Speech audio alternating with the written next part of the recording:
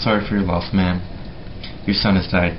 Oh no, what happened? He was hit in the head multiple times with a banana. Oh my god, is he okay? He died instantly the next day. What happened to your mustache? What mustache? Oh, oh, never mind. Never mind. Okay. Anyways, like I was saying, I mean, we could, um, uh, we can give you a special deal. I mean, his casket can be in the shape of a banana, if you'd want that. Well, he did like bananas. Alright, we can arrange that. Well, I have to go. It's lunchtime already. But hey, don't you go dying on me now.